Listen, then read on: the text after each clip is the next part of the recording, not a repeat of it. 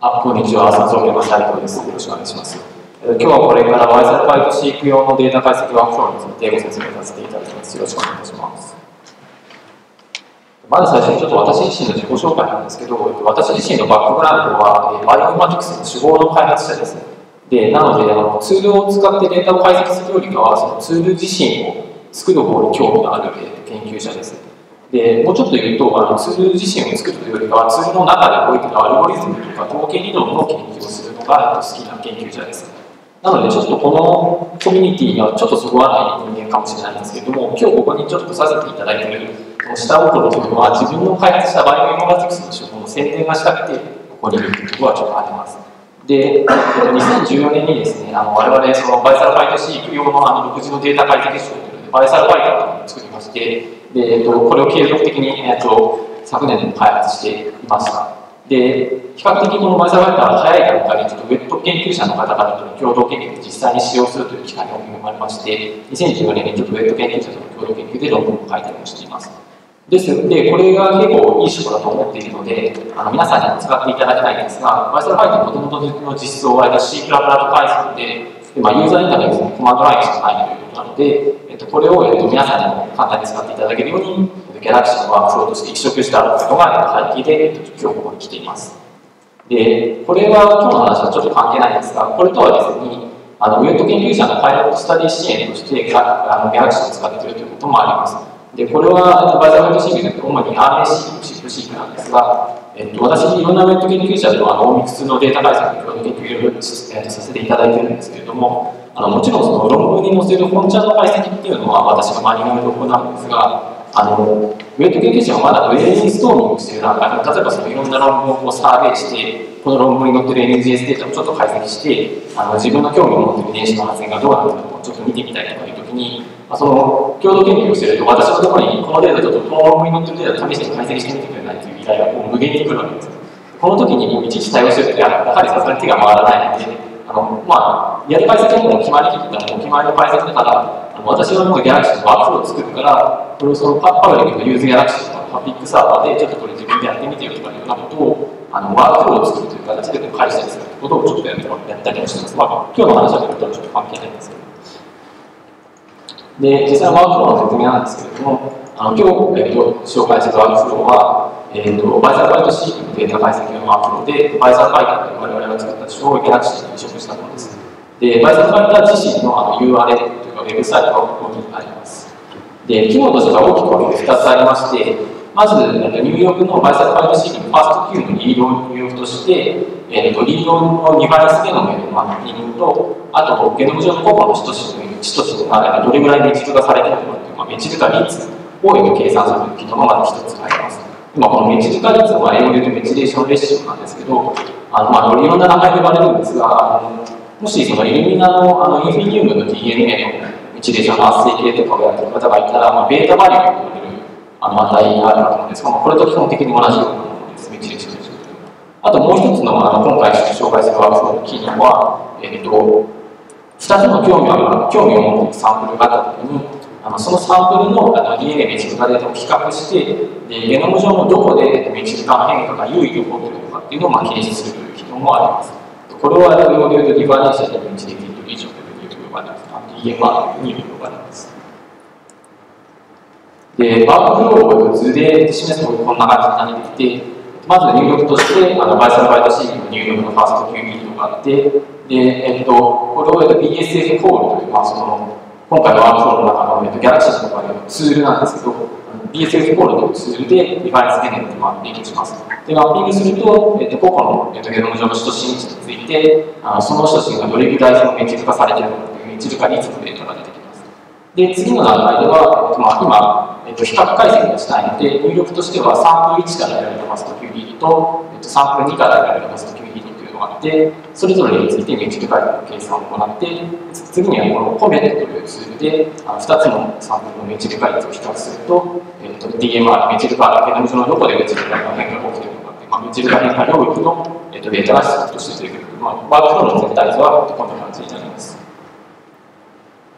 で、ちょっと中身の説明なんですけれども、あのこの段階ではちょっとこの簡単に説明しますけど、まあ、基本的に言いたいことは、我々はツール開発者なので、あの DSF コールマッピングの部分についても、あのコメント、DMR、未知化変化領域の検出の部分についても、あ基本的に我々とかの酸素系の、我々仲間の酸素系の研究者とかが開発した独立あの独自のあのアルゴリズムで動いているということがあると、ちょっとこれ強調したいと思います。で、あの、まあ、それより先にまず最初に具体例に見てほしいんですけれども、あのこれはあの実際我々がそのウェットウェットの共同研究者の方と一緒にバイサルファイナーを使った時の実際の改善結果で、あの、例としては、えっ、と、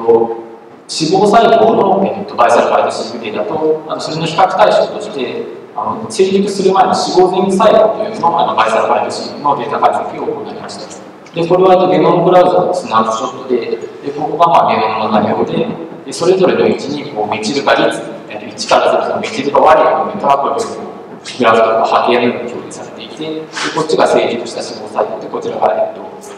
えー、脂肪の前細胞という形になっています。で、これを、あその入力はまあリードだったんですけど、これを、えっと、バイサルファイターのアーツで解析すると、えっと、それぞれのサンプルについてこうメチル化リスクが出てきて、でさらにこの2つを比較することによって、メチル化変化が起こっているというのが出てきます。で、このデータはまあ一見すると分かると思うんですけど、バイサルファイトシールのメチル化のデータというのは非常にノイジーというか非常に複雑なデータです。で、これをまあ渡されて、じゃあこの2つのサンプルを比較して、どこが変化してるのかあの当ててください。と言われるんですけど、まあ、これ人が見たら絶対にできるか、あのまあ、変わってるといえば、まあ、全ての部分変わってるようにも見えるし、まあ、変わってないといえば変わってないように見えるので、まあ、こういう非常にノイジーなデータを渡されて、じゃあ実際どこが生物学的に意味がある変化領域なのかっていうのをちゃんと当てるっていうのは、一般には人が目で見ても無理で、あの強力な統計手法とかインフォマティクスの力を使わないとできないわけで。これが、えっと、今ここが10キロベースぐらいの地図で、これもうちょっと拡大するとこんな感じになってるんですけど、まあ、ここが実際にここ検出されたメチル化変化量域で、でここの部分のメチルがこうなってるわけですけども、まあ、やっぱりここのこれぐらいの解像度で見てみても、まあ、確かに変わってると言われ言われれば変わってるんですけれども、あのまあ、変わってないと言われれば変わってない。ただ、えっと、このバイサルファイターという書はこういうあのメチルガイトの些細な変化を捉えて、ここは意味のあるメチル化変化領域なんじゃないかということを言って言ってくれてるわけです。で、もちろんそうすると気になるのは、これがちゃんと生物学的に意味のあるメチル化変化領域なのかということなんですけれども、これ、あの脂肪細胞のあの分化過程には PPAR ギャンマと呼ばれるあの転写因子マスターレビエーターとして非常に重要な役割を果たしていることが知られているんですけれども、それのチップシークデータというのがあったので、それをチップシークデータをあのメチルガデータとは別にマッピングして、マックスとかにリコールしてみると、あの我々が検出したこのメチルガネガルとぴったりだなというあの結果が得られました。なので、まあ、これは、まあ、あの転写因子がここにくっつくことによって、このメチルガの変化を有用しているんだろうということが分かって、えーとまあ、これが、まあ、いわゆる脂肪細胞効果における、まあ、リのマークなんじゃないかということで、あのウェブの研究者が共同研究でどうも開発しています。で、アルゴリズムの中身については、ほんのちょっとほんの簡単にしか説明しないんですけども、基本的にあのマッピングの部分では、ラストと呼ばれる酸素系の研究者が開発した独自のアライメントツール、マッピングツールを使っています。で、ラストの、例えば抗体とかは、えっと、BWA とかいろんなマッピングツールあると思うんですけど、ラストの他のマッピングツールに比較して優れているところは、完全に確率モデルベースで動いているというところで、えっとまあ、入力のファーストクリードがあったときに、その入力のファースト Q リードはそれぞれの演技に、まあ、クオリティスコアみたいなあのファースト Q のプレートのクオリティスコアがついていたりとか、あるいはマッピングについても、まあ、ゲノム上の複数の位置にマッピングされるというのがなった場合に、そのマッピングの結果はどれぐらいコンフィデンスがあるのかということがあのあると思うんですけども、まあ、ラストはそういうのを全部確率モデルとか統計理論のあのフレームワークの中で全部きれいに形式化して、そういうそのアライメントの信頼度とか、リニアクオリティデータとかを全部考慮して、地図化率というのを推定してくれるところが強みになります。で、地図化変化領域の検出についても、あの独自の統計手法で動いてまして、中身では非常にマニュモデル HNM が動いてるんですけれども、あの独自の統計手法を使って、地図化変化領域っていうのを高感度に検出してくれるというような形になっています。で、アルゴリズムの詳細と、あと既存手法、まあ、いろいろあるんですけども、それとの詳細なベンチマークについては、あのベッドルームで発表したいと思いますので、興味のある方はこちらをご参照していただければと思います。で、実際にあのこの Bisulfighter を、えっと、 Galaxy のワークフローとして移植して、あのもうすでに使っていただけるようになってるんですけれども、あの実際のワークフローの、えっと、スクリーンショットがこんな感じになっておりまして、えっとまあ、 Bisulfighter ワークフローを起動するとこんな感じになって、で、サンプル1とサンプル2のファースト Q ファイルというのをこういうふうにえー、と GUI で指定できるような形になっています。で、リファレンスゲノムについては、今、えー、現在、あの人ゲノム HG19% しかないんですけれども、えー、とこれをこうやって指定することができます。で、出力としては、えー、とこんな感じになっていて、個々のあの導かした位置について、あのそのストランドとコンテクストの情報、あと導か率と、あとリードが何本ありついたのかっていうカバレッジの情報が出てきます。で、メチル化変化領域については、あのベッドライトの出力ファイルが出てきまして、あのメチル化変化領域がゲノム上のどの位置になったのかっていう情報と、あとメチル化変化領域の方向ですね、あのサンプル1とサンプル2を比べたときに、サンプル1の方が高いのか、サンプル 1, の方がメチル化率が低いのかっていう、まあ、そのメチル化変化の方向の情報があるんですけど、それの情報とかが出てきます。あとは、えっと、メチル化変化がどのぐらい強かったのかっていう統計スコアの情報とかも、えっと、一緒に出て。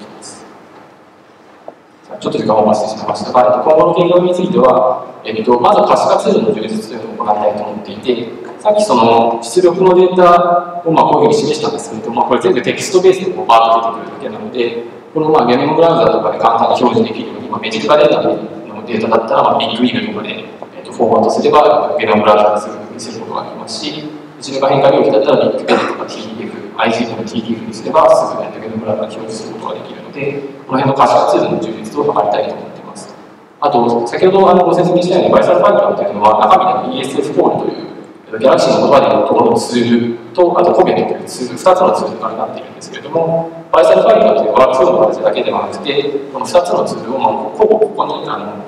普及していくという活動も行いたいと思っています。なぜかというと、多分それぞれの研究者は、それぞれ自分のところで確立したデータ解析プロトコールがあって、例えばもう、ライゼンファイルシーケンスのマッピングといえば、もううちは Bismark を使う使うことに決まってるんだから、もう今更 DSF コールとかで新しい解析を導入したくないというか、研究者がたくさんいると思うので、そういうところでは、まあ、じゃあマッピングのところは、まあ、ビスマルク使っていただいて構いませんので、仮の解析とかでちょっとコメントを使っていただいたらどうですかとか、そういう提案をしていただけると思っています。すみません、これはもう単純にあの宣伝なんですけど、最近あの、あの、清水、あ岩手大の清水先生とあと大野先生のところで、あの、時代計算ドライ解析標本というのをまたされてるんですが、そこでバイサルファイターが紹介されていたりとか、あの、バイサルファイターのあの MacOSX のホームブルーというあの、Mac ボードの親戚みたいなやつがあるんですけど、それがバイサルファイターに対応したりとか、まあ、こういう地道な普及活動をやっております。あでこちらサージで、あのこちら共同研究者の方々で、こちらファンディングソースになります。あ、えー、ありがとうございます。